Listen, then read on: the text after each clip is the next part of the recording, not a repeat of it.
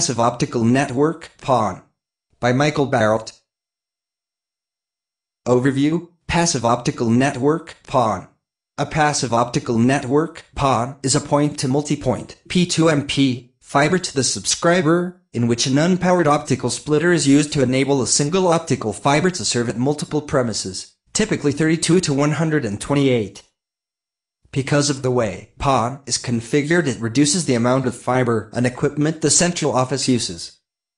A PON is made up of optical line termination OLT at the service provider's central office and a number of optical network units O N use near end users.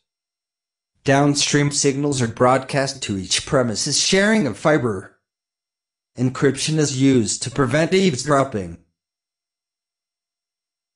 Upstream signals are combined using a multiple access protocol, invariably time division multiple access, TDMA. The O, L, T's range the O, N, used in order to provide time slot assignments for upstream communication.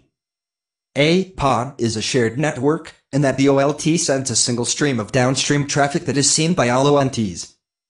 Each ONT only reads the content of those packets that are addressed to it.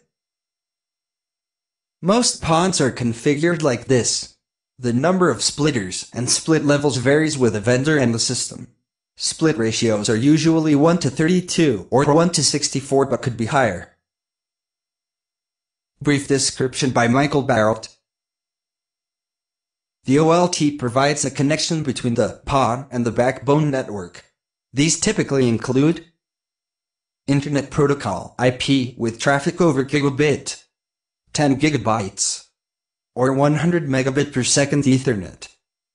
Standard time division multiplexed TDM interfaces at various rates. Asynchronous transfer mode ATM UN is with a transfer rate of 155 to 622 megabit per second. The OLT is connected to the switched network through a standard interface. Along the distribution side, it offers optical access interfaces according to this and other GPON standards, in terms of bitrate, power budget, jitter, etc. The OLT consists of three major parts. Service port interface function. Cross-connect function. Optical Distribution Network ODN interface. This is an example of the structural architecture of an OLT. 1. PON core shell consists of two parts, the ODN interface function and the PON TC function. PON TC function includes framing, media access control, OAM, DBA, and delineation of protocol data unit, PDU, for the cross-connect function, and ONU management. Each PON TC selects one mode of ATM, GEM and DUA. 2. Cross-connect shell the cross-connect shell provides a communication path between the PON core shell and the service shell. Technologies for linking this path depends on services, internal structure and OLT and other factors.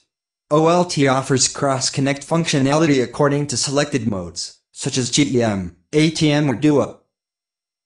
3. Service Shell. This shell gives translation between the service interfaces and TC frame interface of the PON section. In this slide you can see an example of an functional architect of an ONT. The ONT terminates the PON and presents the native service interfaces to the user. These include voice, plain old telephone service, POTS, or voice over IP, data, typically Ethernet or V.35, video, and door telemetry, TTL, ECL, ARS, 530, etc. A great deal of the time, the ONT functions are divided into two sections. The ONU, which cancels out PON and delivers a converged interface, such as XDSL or multi-service Ethernet, toward the subscriber, and network termination equipment, NT, which provides a separate, local service interface directly to the user. The general building blocks of GPON ONT are very alike to the general building blocks of the OLT, since the O N T performs with only a single PON interface or max of two interfaces for security purposes, the cross plugin function can be left out. Even so, instead of this function, service MUX and DMUX subroutine is set to manage traffic. Each PON TC selects one mode of ATM, GEM and DUO. A PON ATM Passive Optical Network. This was the beginning passive optical network standard. It was serialized for generalist and business applications, and stemmed from the foundation of ATM. BPON, broadband PON, is a typically based on APON. It offers support for WDM, dynamic and higher upstream bandwidth allotment, and survivability. It also made a standard management interface, named the OMCI, among the OLT and ONT, allowing varied vendor networks. GPON, Gigabit PON, is an advancement to the BPON standard. It allows for higher rates, improved security, an option between Layer 2 protocol, ATM, GEM, Ethernet,